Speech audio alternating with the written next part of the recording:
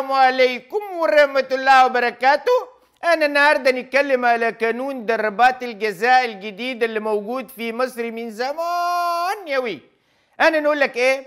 في قانون ضربات الجزاء الزمالك لو سد الكورة الحكم يخليها تعيد. ولو الزمالك دخل فيه الجون الحكم ما يخلوش يعيد. لا دي يا أخي واشمعنى الزمالك؟ أول ما يسد الكوره نعيد الكوره يسدش الكوره ما تخش الكوره أنا يا أخي نعمل إيه؟ نعدي الكوره كله ضربات جزاء؟ ولا أنا بعد كده ما نلعب ضربات جزاء تاني؟ والزمالك يسد الكوره إن شاء الله.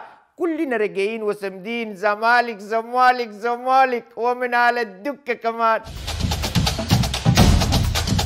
ورجعنا لكم بعد الفاصل مع مو عثمان الهبري الجديد أنا اللي نقوله عثمان يقولوا لكم ده إيه بقى؟ بن شرقي هيرجع تاني الزمالك. بيقول لك هيجددوا معاه عشان يرجع الزمالك. أنا بقى نقول له إحنا لا نقف على بن شرقي ولا نقف على ميدو ولا أحمد الكاس ولا نقف على عبد الحميد حمدي ولا أي حاجة. إحنا نقف على الدكة قدام كل عمارة والله ولا يهمنا حاجة خالص. إحنا بس اللعيبة والله العظيم سامدون ويلعبوا. بس يا أخي اتغلبوا من فرقه. ليه إحنا نتغلب من فرق ده استهتار دي ولا ده تسيب ولا دي إيه؟ دي فرقه مين فرقه دي يا أخي؟ أنا اول امبارح لقينا في فرق تلاقي يقول لك فرقه يلعب الزمالك فرقه يلعب الزمالك. إحنا قلنا ناخد أربعة خمسة نقلبوا ستة نص دستة انما نتغلب من فرقه. مين فرقه دي يا أخي؟ ولكن إن شاء الله في الدور الثاني نتعادل مع فرقه. مش نغلب هنتعادل معاه ونزل له ذل. يا ولد يا سلام عليك انت وفرقه.